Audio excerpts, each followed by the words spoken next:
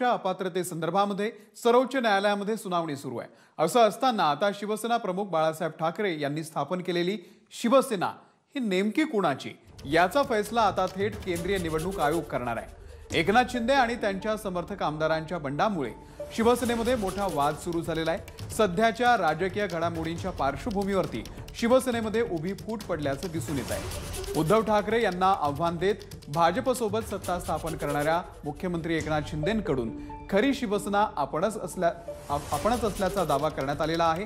आता याचा फैसला निवडणूक आयोग करणार आहे. सेनेच्या दोन्ही गटांना कागदोपत्री पुरावे सादर करण्याचे आदेश देण्यात आलेले आहेत. आठ ऑगस्टला दुपारी एक वाजेपर्यंत आपलं म्हणणं मांडण्याची मुदत देण्यात आलेली आहे. दोन्ही बाजूंचे दावे ऐकल्यानंतर निवडणूक आयोग सुनावणी करणार आहे.